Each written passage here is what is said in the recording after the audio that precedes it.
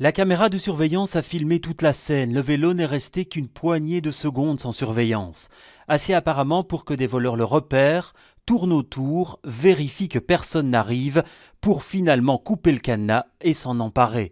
Une perte sèche pour le propriétaire qui n'en est toujours pas revenu perte de, 1300 euros comme ça, euh, c'est toujours euh, très très frustrant, euh, surtout évidemment de la façon dont ça s'est passé, c'est-à-dire en, en laissant mon vélo une minute. Un mode opératoire qui n'étonne pas les associations cyclistes. Dans ce cas, il faut dire que le cadenas n'était pas assez résistant. C'est quelque chose qui est, fréquent, euh, qui est fréquent dans des lieux, même dans des lieux de passage. Donc, je vais dire, le, contrôle social n'intervient plus beaucoup. Euh, si on regarde sur les sites où on peut dénoncer euh, les, vélos qui, se sont fait voler, on constate que Place de la Monnaie, devant Rogier, Porte de Namur, ce sont des, lieux où on vole des vélos, même avec d'excellents cadenas. Selon la police de Bruxelles, les vols de vélos sont en nette diminution cette année, mais les associations sont loin d'en être convaincues.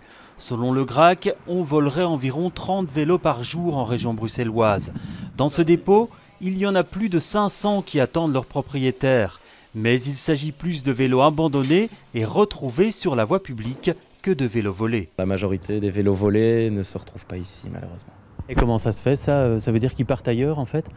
Ils sont sans doute effectivement revendus euh, dans d'autres villes, voire même à l'étranger. Euh, c'est un fait connu de nous et de la police d'ailleurs que ce sont des bandes organisées qui les volent ici pour les revendre ailleurs. Mike a évidemment déposé plainte, mais il a déjà fait le deuil de son vélo. Et dorénavant, il ne se sépare jamais de son gros cadenas lorsqu'il utilise son autre bicyclette.